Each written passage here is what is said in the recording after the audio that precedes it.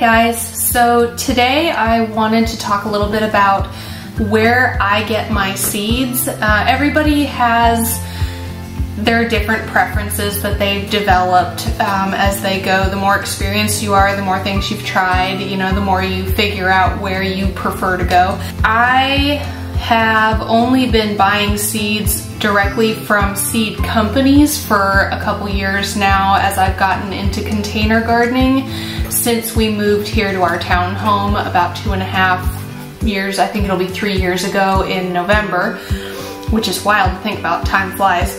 So the first place I would encourage, especially somebody who's just getting into gardening to go for affordable seeds, would be the dollar store.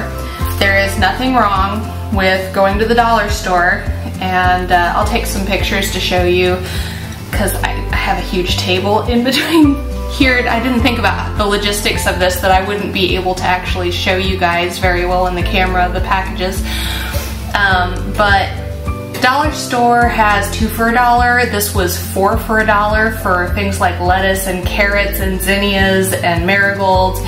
And I mean, you cannot beat 25 cents for a pack that has, I don't know, lettuce, anything with little seeds like lettuce. There's a ton of lettuce seeds in here. And as long as you handle them with some wisdom, they can really stretch you a long, long way.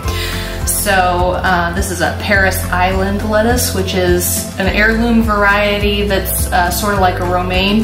So especially in 2023, I had to think way too long about what year it was just now. Am I the only one? Comment below if I'm not the only one. Make me feel better. Um, but everything has just gotten so wildly expensive. To be able to get anything for 25 cents kind of gives me a little bit of a thrill.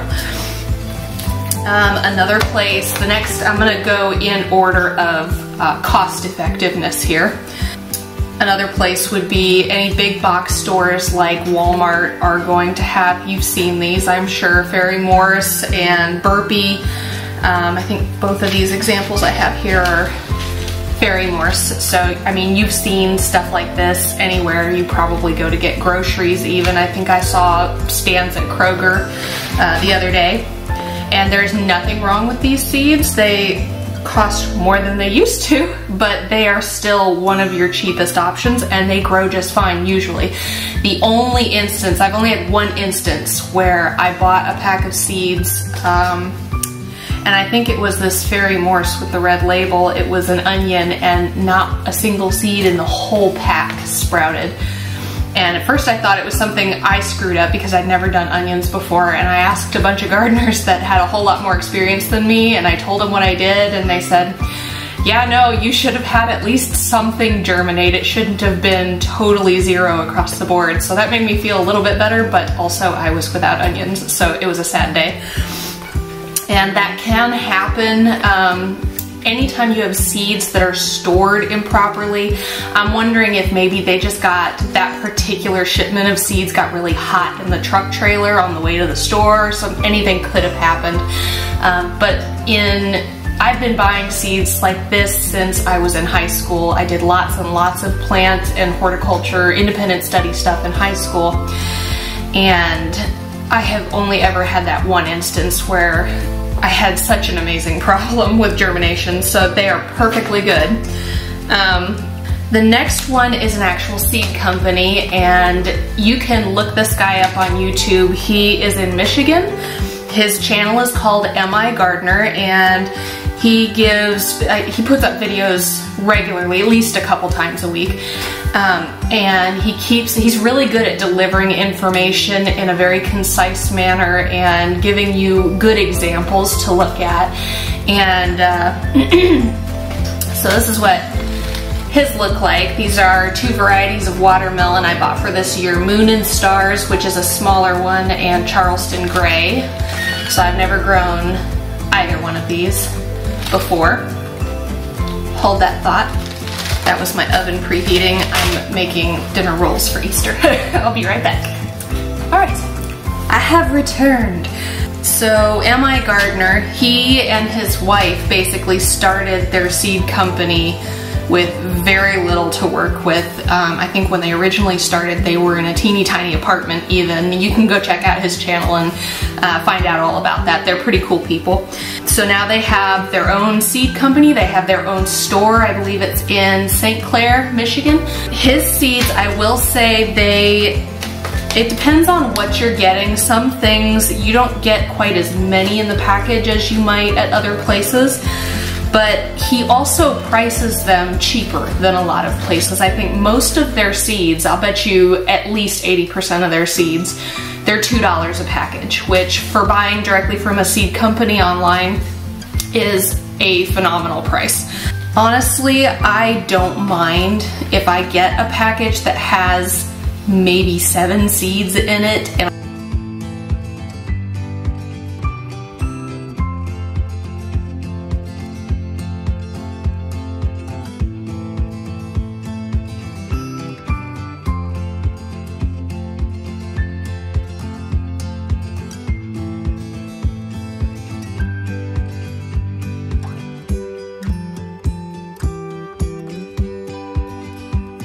I paid $2. It's a little less than I would like, but I also don't mind supporting him. So I, I would buy from him periodically anyway, just because I think that what they're doing and the things that they're doing for their community and all of the content that they have provided for free on YouTube, it's, it's worth investing in them and in their seed company. So if you have a couple bucks and you're looking for seeds, MI Gardener is a great place to go. Um, the next place is someone um, that I mentioned already in a couple of my videos and you've seen some of their seed packets on the screen as I was describing things, but Botanical Interests and I mean, I'm an artist, so I mean, you, you look at their beautiful seed packets and I'm, I, am i am sold right there just because they're gorgeous to look at. But they were, one of their founding principles was they wanted to give people as much information to be successful as possible. So when you look at their envelopes, they have lots and lots of information and actually when you open them up, you can carefully undo the seams and lay the whole packet out and they have more information, sometimes the history of the variety, things like that on the inside of the package as well. so there's there's no limit to the efforts that they have put in on that and I have a lot of respect for that. And the artwork is gorgeous, like I said, and the prices are very reasonable for buying online directly from a seed company. I think this is Winter Delicata Honeyboat Squash. I, uh, the, the price on this is $2.99. Um, cucumber lemons, lemon cucumbers, uh, 229 for approximately one gram of seeds. It, it tells you in grams instead of approximate number of seeds how much you can expect to be in there. And giant purple zinnias were 249 for a packet of about 500 milligrams. So very reasonably priced and at least once or twice a year they have really, really good sales. I mentioned this in my uh, cut and come again lettuce video, but um, I probably paid $47 for $100 worth of seeds because they all were way, way on sale. Um, in the fall is when I did that last fall. And you know, you can buy seeds a season or two ahead without worrying about the germination rate going down because the seeds are getting older before you're planting them. That is not a long stretch of time to worry about at all. So botanical interests, definitely one that I would recommend. The next one is a little more expensive. Um, I don't think they're outlandishly expensive or I wouldn't buy them. I am incredibly cheap compared to most people. Cheap, cheap doesn't sound good. I'm incredibly frugal, we'll put it that way. I've had people describe me that way when they loved me. uh, Baker Creek, their website, it confused me a little bit the first time I went in because the website is rareseeds.com but Baker Creek Seed Company is the name of the place and they are based in Mansfield, Missouri, so not terribly far from where I'm at here in Tennessee. One of these days, I'm gonna take a couple hundred dollars and I'm gonna go visit because they have beautiful gardens. They have a restaurant where, you know, they grow everything they use in the restaurant and um, I plan to go visit and have a good time and buy a heck of a lot of seeds.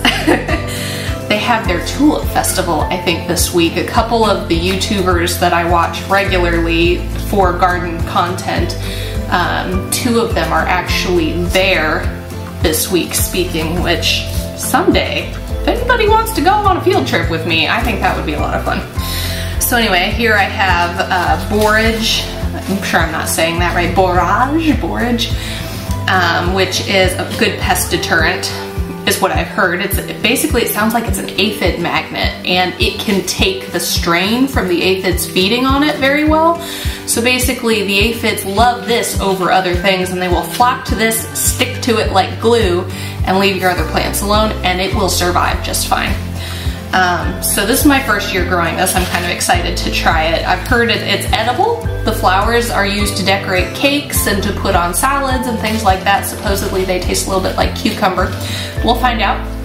Um, another good thing about Baker Creek seeds is that when you order from them, I think the first one you get at like the $10 or the nine, eight or nine dollars worth of seeds, which three packs of seeds gets you there. They send you a packet of something surprise for free. So this one, I finally got the Mizuna. A lot of people said they've gotten tons of Mizuna as their free seed, and I never got it, so now I finally get to try it. It's like a, an Asian style green. So I'm excited for that. And you know, it's, it's like a Cracker Jack prize, which is a whole lot of fun.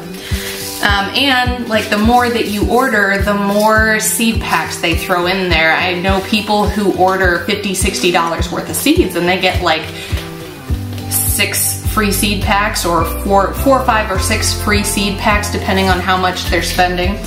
And so every so many dollars you spend, you're getting some added value in there. Um, and it may be things that you don't want to eat, but that doesn't necessarily mean that it's not helpful.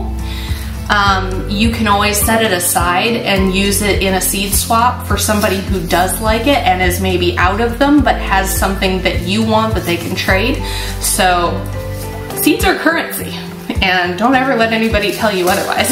this is another thing I got from them I'm really excited about. I, I looked at these on their website for over a year before I caved and I ordered some. They're called Majorette Double Champagne Hollyhocks. Aren't those beautiful? They're like a dwarf hollyhock, so I think that might mean they only get three feet tall instead of eight feet tall. We'll find out. So they are, and they have an outstanding germination rate. Um, so far what I have tried from Botanical Interests has had a great germination rate as well. Um, admittedly, their germination rate is a little bit better than seeds from places like Walmart and the dollar store, but not a big enough gap that I would ever say, especially for what you're paying at those cheaper places, that it's not worth growing from them. Hey guys, uh, editing Caitlyn here. I definitely went a lot longer on this than I thought I was going to. So I'm gonna go ahead and split this into two videos. I'm still figuring out the video editing shenanigans business. So I'm gonna try to put part two up here uh, at the end of the video for you to click on. Otherwise, it'll be the next video that comes up right after this one. I'm gonna upload them together rather than leave you guys hanging. So if you enjoyed part one, thanks for stopping by. Part two uh, is in the next video and it's where I'm talking mostly about seeds that you don't have to buy. They are, I like to say, free provided to you by the universe um, in one manner or another and there's lots of stuff to talk about there too. So, and it's probably the most accessible way to buy seeds, especially if you're on an extremely tight budget. Thanks for watching guys, have a good night.